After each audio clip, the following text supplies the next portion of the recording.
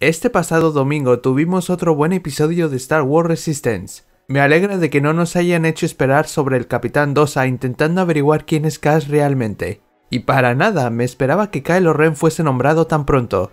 En el próximo episodio parece que tendremos de vuelta a Poe Dameron trabajando con Kasuda para investigar una señal de socorro de una nave dañada.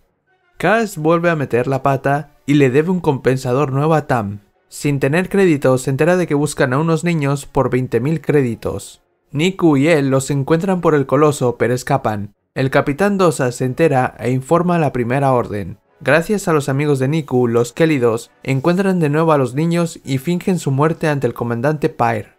Al final Cass logra salvar a los niños, arreglar el compensador de Tam y es felicitado por Elo Asti por la información que le está consiguiendo a la resistencia.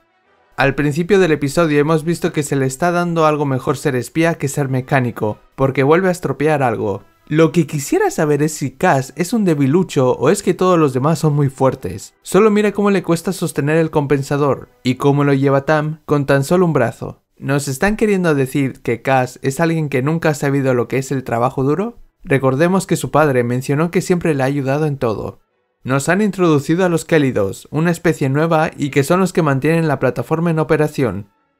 A su paso. La verdad es que me recuerdan demasiado a los Lanai, de Acto. Puede que Niku sea demasiado hablador, pero está claro que tiene muchos amigos y recursos que son de ayuda para Cass. Tarde o temprano tendrá que contarle a Niku y a Tam su verdadera misión en el coloso.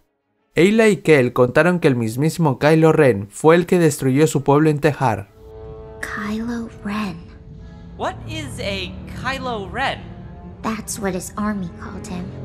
He was dressed in black, carried a laser sword like the old Jedi stories. Según Elo, Tejar podría ser un planeta de las regiones desconocidas. Desde hace tiempo se sabía que la Primera Orden se ocultó en esta parte de la galaxia.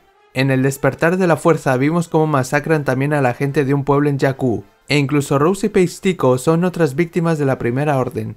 Estoy bastante seguro que aún no se ha acabado el asunto con estos niños. El Capitán Dosa, aparte de vigilar a Cass, creo que seguirá investigando el misterioso símbolo que llevaban los niños. Y esperemos saber el por qué la orden estaba en Tejar. Y más vale que Ila y Kel cambien la apariencia para no llamar la atención otra vez. Con el comandante Par ya se suma otro variante de la primera orden. Ahora tenemos a Phasma, Cardinal, Bonreg y ahora Pyre. Y bueno, espero que dejes tu opinión y teorías sobre este episodio para discutirlo en el próximo video. Si te gustó, dale like y suscríbete para más Star Wars. May the Force be with you. Always.